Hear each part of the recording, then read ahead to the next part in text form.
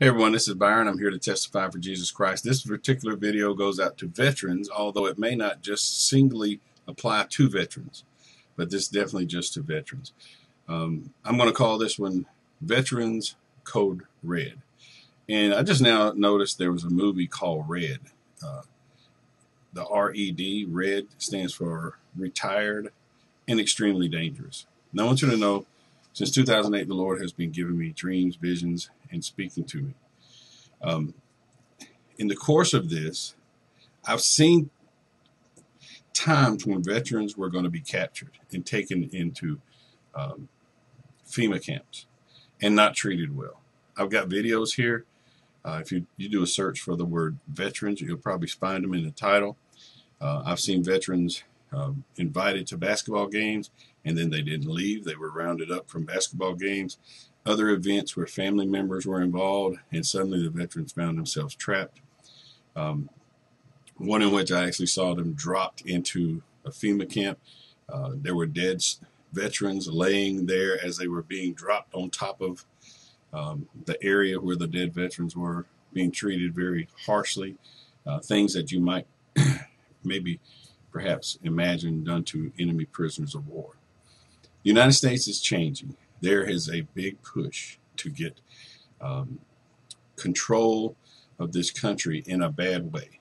You guys, and myself included, we took an oath at one time to support and defend the Constitution of the United States. Now, if that Constitution were to be uh, repealed or somehow became none effect, I don't think that's going to change very many veterans' pledge to uphold and defend it and you're at that point considered to be extremely dangerous to the regime that's coming. Okay, so first and foremost, you're a threat. Secondly, your life is going to be in danger because of what your background has. Thirdly, if you haven't heard, um, if you were to die, and you were all going to die, it's appointed a man wants to die.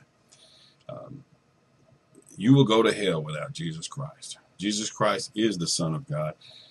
He has given me dreams, visions, and things like that, and I've seen Him. He spoke to me. Um, so, regardless of what maybe this crazy mixed up world has said or, or told, uh, Jesus Christ is alive and kicking and well, and He is coming again. He is coming to judge this world and to redeem His bride, and He will do so.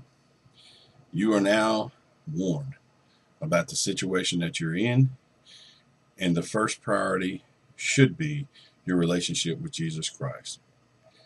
Scriptures tell us, For God so loved the world that he gave his only begotten Son, that whosoever believeth in him should not perish, but have everlasting life. That perish, the meaning there is not death on earth.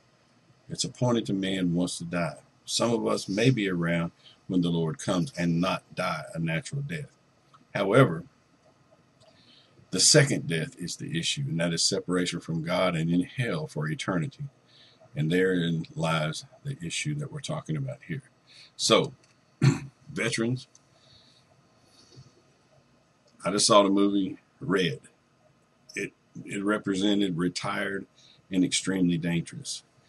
You can rest assured you are extremely dangerous to the powers to be who intend to suspend the Constitution of the United States. And you can rest assured if there is a list, and if the list does contain red members, meaning we got to deal with these people, you're going to be in that. And they're coming for you. Okay?